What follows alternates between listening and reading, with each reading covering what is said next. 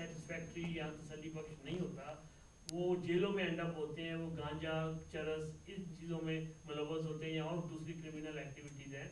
वो सब कम्युनिटीज़ के होते हैं लेकिन हमारे बच्चे ज़्यादा बिलखसूस पाकिस्तानी बच्चे ज़्यादा क्यों इसमें मुलवस होते हैं? इसके लिए क्या सदेबाब किया इसका? ये है कि वालिदैन बता जो हैं वो अपने बच्चों को वक्त नहीं देते। उनकी निगरानी नहीं करते उनको साथ नहीं रखते। तो जब वो वालिदैन अब सोलह सोलह अठारह अठारह घंटे काम करेंगे तो बच्चों को नहीं पूछेंगे कहाँ जा रहे हैं किधर आ रहे हैं उनको साथ भाई नहीं काम नहीं करेंगे तो वो खिलाएँगे कहाँ से बच्चों को?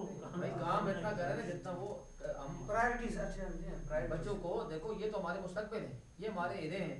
हम ठीकरों के लिए हीरो को बनवा दें ये अच्छी बात तो नहीं है ना। देखो जो पहले बात हुई थी कि हमें वो पैसे के पीछे ऐसे हम पड़े हुए हैं कि बच्चा जब बड़ा हो जाता है सोलह सत्रह अठारह साल का तो माँ बाप उससे ये उम्मीद लगा के बैठते हैं या एक्सपेक्ट करते हैं कि वो पैसा लाए कमा कर लाए कहीं से भी लाए। नहीं ये बात नहीं नहीं ऐसा नहीं है। देख देखो मगर भाई आप इस बात को समझ लो प्लीज़ तो हमारे मैं अपने नाजरीन से तैयार करूँगा। बात इस मुश्किल मसले को उनको जो ओरिजिनल है उसको देखें आप। बच्चा जिस वक्त जिस सी में जाता है तो जिस से ही उसके हालात अपने बदलना शुरू हो जाते हैं। बहुत कम माँ बाप की सुनता है वो। उसकी ब्रेन वॉशिंग स्कूल टीचर के साथ तक कर देते हैं और बता देते हैं कि your parents are totally illiterate uneducated वो उसको जहाँ तक तुम्हारे माँ बाप को फिर वो घर का माहौल देखते हैं वो आहिस्ता आहिस्ता घर से हटना शुरू कर देते हैं।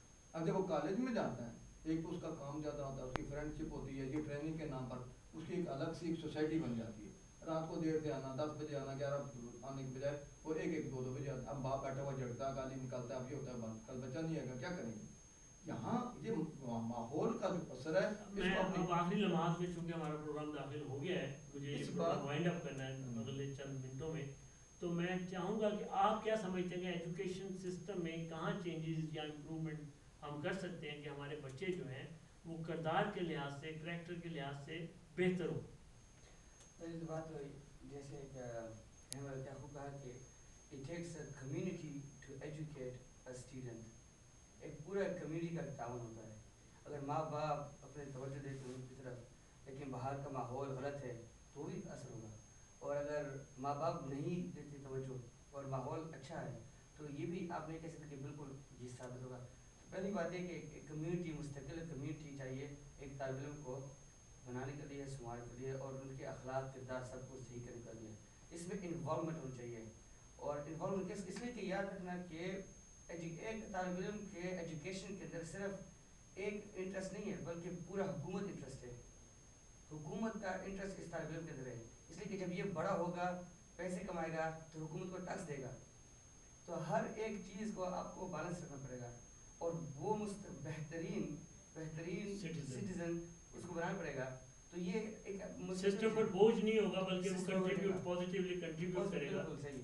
ये आप क्या समझते हैं कि मस्जिद के निज़ाम में कोई इम्प्रूवमेंट देखते हैं आप या समझते हैं कि अगर की जाए तो उससे हमारे बच्चों के किरदार पर और या किरदार बिल्डिंग पर किरदार साजी पर कोई असरअंदाज हो सकती है। जी यूँ जो वक्त आ रहा है अल्हम्दुलिल्लाह जैसे कि मौलाना हाफिज़ुररहमान साहब और नाय उलमा हैं यहाँ से फारग हैं ये यहाँ के जो माहौल है उसके मुताबिक यहाँ की इनकी पैदाश है और जो आ रहे हैं यहाँ के पढ़े हुए वो अपने जितने भी मकातब हैं या जितने भी मदारस हैं उनमें आस्ता आस्ता जो ज़रूरत है उसके मुताबिक चेंज कर रहे हैं और अच्छा रिज़ल्ट आ रहा है। जो में देखता हूँ उसमें अच्छा रिज़ल्ट है। बहुत शुक्रिया आप तीनों कराम का।